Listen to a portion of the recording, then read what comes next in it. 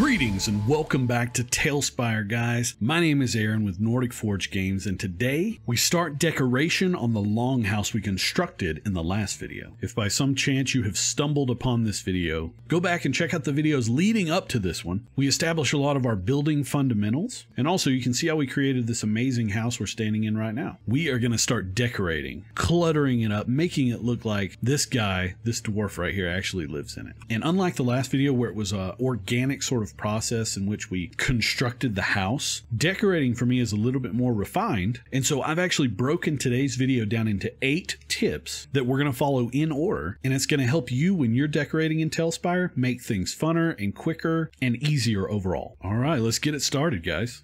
And this is our Fantasy Viking Longhouse that we constructed in the last video. We still need a lot of work on the outside. That's probably going to be a third video in this little series about finishing up your board and making it ready to share. And so tip number one, guys, is something we covered in our first video, and it's use references or inspiration. Just like when we're building our house, we want to have some references or inspiration for some interiors that we can look at and just give us some basic idea of where things and items inside the house should sit naturally. And just have it off to the side, something that you can look at while you're decorating that if you hit a snag or feel confused or not sure where you need to place something, it'll help you maintain your focus. And that brings us to tip two, which is pick out your items that you want to decorate with beforehand. That means before you even start placing things inside, you sort of pile up some items that you like the way they look and you can see them all together before we even start moving them around. And what I like to do is sort of think about it like moving into this house.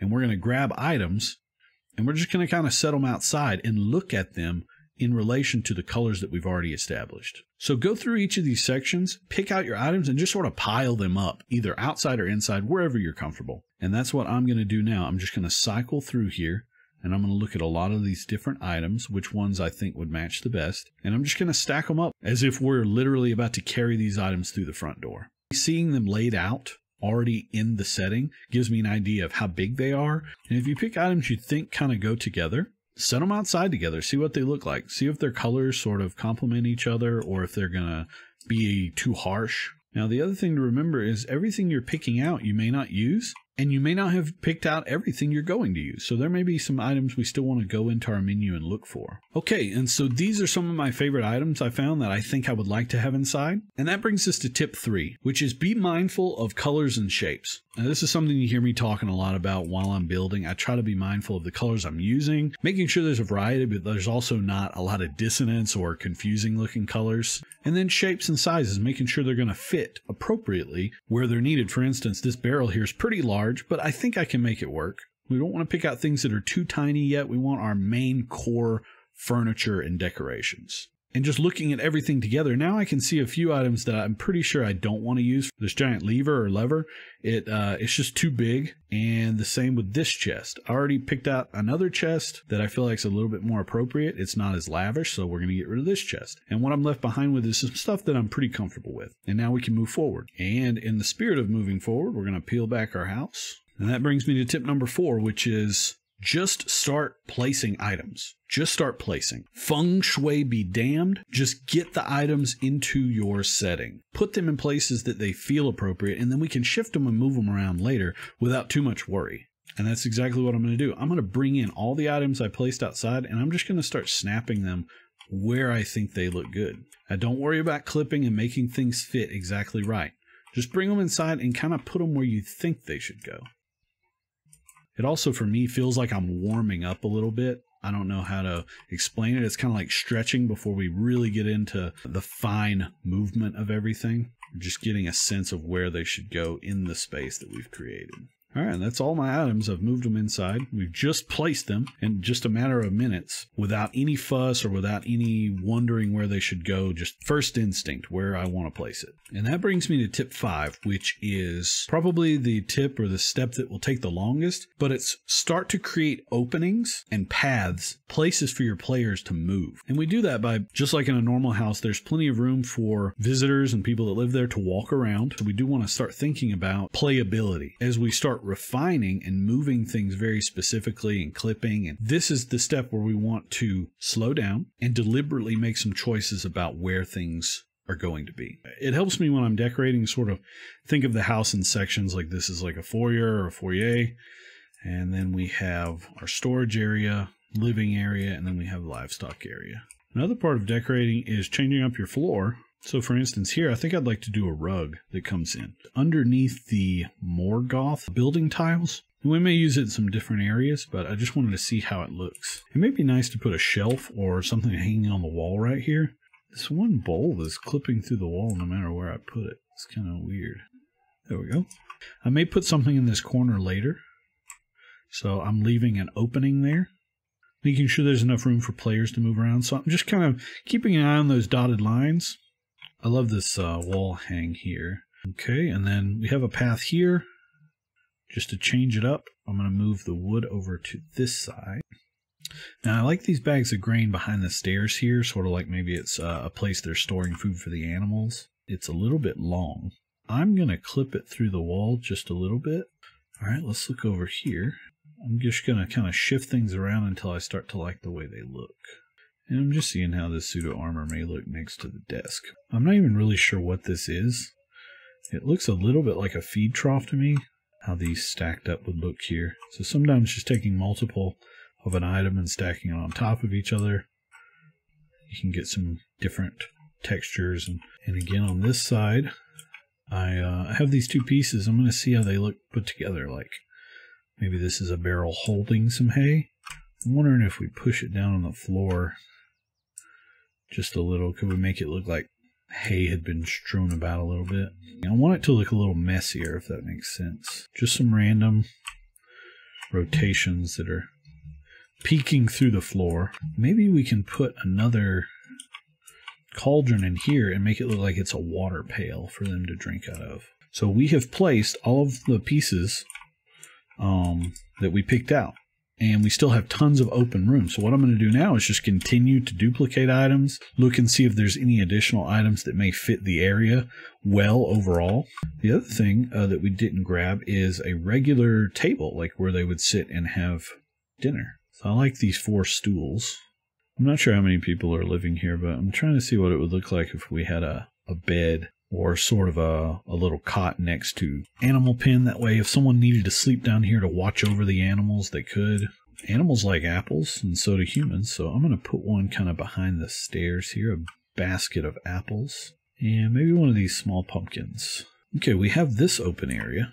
And part of me thinks we, we need a place to prepare food. What if we had a bar almost like uh where they have these like nice little bar pieces. Oh yeah, having a bellows here on the wall would be kind of nice. I'm not sure exactly what this is. It looks a little bit like a wash pot to me. So there's some books. There's like a, a grain sack and a couple of things of meat. I like the idea of there being a section of carpet here at the bottom of the ladder.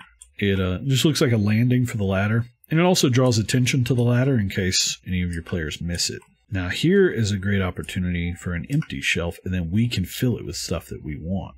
And they do have a smaller shelf with like some wine on it. I do want like uh, something in this corner here, maybe another box or container. This one's always really great. And then I do like having nothing in front of this window and something in front of this one so that this is almost encouragement for an NPC to look out that window or a player. Just keeping in mind the different routes of travel we have through here and the areas in which we can have encounters or movement of NPCs and players alike. All right, so here is our loft. Now we, we only have the one bed downstairs. Definitely going to be somewhere we want to have a bed or a couple of beds. I'm trying to just weigh the idea of clipping if it looks okay or if I don't like how it looks. And again, I know it's clipped through, but at first glance, it doesn't look clipped through kind of looks nice, so I'm going to go with it. I'm just seeing what kind of container we could have in between these beds that's interesting. You know, could kind of double as like a bedside table. Maybe we could put a candle on it or something later. And I think that's good for the loft. I'm going to stop right there for just a second because I think we're getting close to tip number six, which is add more light. And there's a lot of different ways you can do this, the light section, but there are items in the game that give off light as well. For instance, in the nature section, there are these blue crystals and green crystals that also give off respective light. If we take one of these blue crystals over here to the water bucket and we slide it down onto the ground, the light still actually permeates through and we can create some interesting variations to the light just for fun and to see how it looks. And you can do the same with the green crystal. Generally, most of the lighting is found in the lights section. I really enjoy the small candle here because it makes a lot of sense. Uh, it's small, it's compact, but it puts off a lot of light. I think I may like to put one on this shelf here. Definitely think a candle makes sense here. And then maybe even a hand lantern for the other person who sleeps up here. Hand lantern somebody may grab when they head outside. What would be nice is to set a candle in the window, and then it will also be visible from outside. Tip number six, adding more light. I feel like we've got more light. Things are looking pretty cool. And that takes us right into tip number seven, which is start adding tiny stuff, stuff that only you may notice. But let's start adding the small things, the things like food and drink, books, papers, things that overall are even smaller than like a chair or a stool.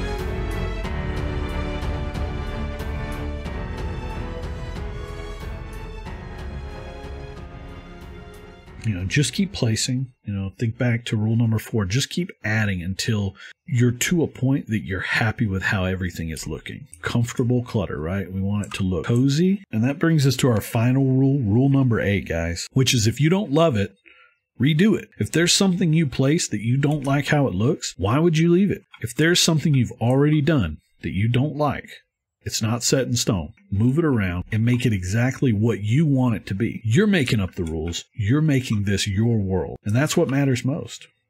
And that's really it, guys. We did it. You did it. Today, we learned eight awesome, epic tips for placing your decor in TaleSpire. And as I look around, I'm really proud of what we've done today. We've taken an empty shell and we've filled it. We've taken a house and we've made it a home. And you, and you know what? You know what? No one can take that away from us.